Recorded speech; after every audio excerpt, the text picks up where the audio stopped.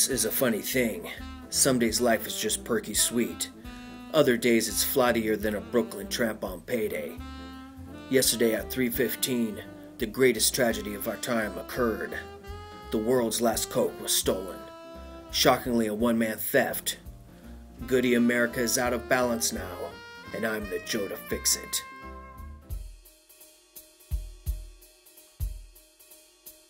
Track the perp to this joint. It was quite a beat up old pad for a high profile crook.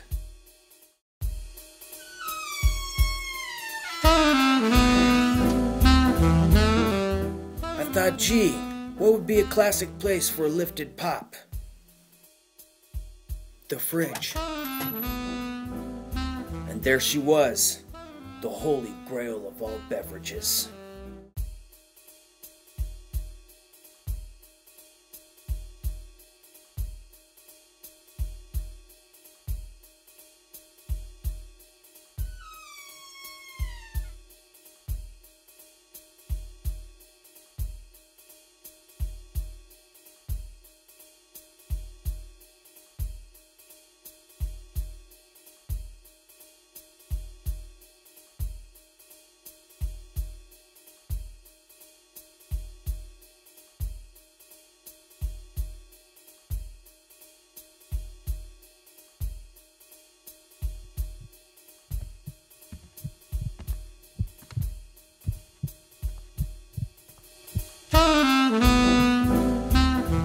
The guy rushed me.